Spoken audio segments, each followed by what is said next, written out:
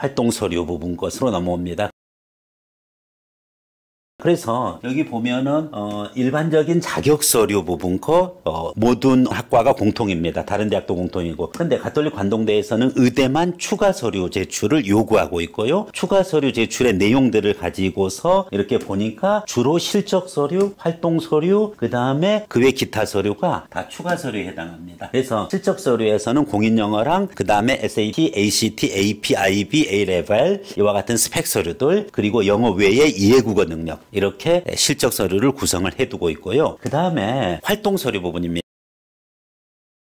활동 서류 부분입니다. 비교과 활동 꼭 국제 공인과 같은 학력 시험은 아닐지라도 본인이 했던 비교과 활동 위주로 교 내외 기준으로 해서 여러분 학교 내의 활동도 좋고 학교 바깥의 활동 특히 의료봉사는 대부분 다 교외 활동이잖아요. 지역 병원에 가서 봉사 활동을 했건 아니면 데이케어 센터에서 일반 봉사 활동을 해도 괜찮고요. 또 관련되는 대학 병원에서 의료 보조 활동, 의료 봉사 활동 했던 것도 어, 얼마든지 넣을 수가 있는 거죠.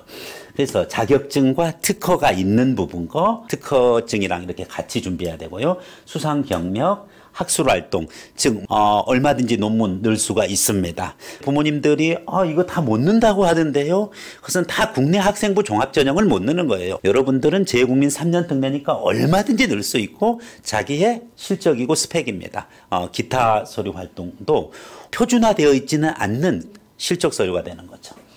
그 다음에 창의적인 활동, 봉사활동 다 말씀드렸듯이 자격증, 특허, 수상 경력, 학술 활동, 창의 활동, 봉사 활동, 특히 의료 관련되는 활동이면 좋고 반드시 의료 관련 아니더라도 그것이 충분히 희생정신, 봉사정신을 자기가 견제할 수 있었으면은 미래 의학도로서 어떻게 그것을 활용할 수 있을지를 자기소개서에다가 녹여내면 되기 때문에 좋은 자료가 됩니다. 그래서 비교과 활동 교내뿐만 아니라 교외 활동까지 가능하다. 그 양식을 보면은 예, 가톨릭 관동대 의대 제출 서류 교내 활동 목록표 해가지고 목록이랑 내용 작성하고 발행기관 얘기해주고 비고 일단은 목록 작성하고 그 다음에 나머지를 순서대로 넣어주면 됩니다. 거의 한 보따리 되는 학생들 꽤 많아요.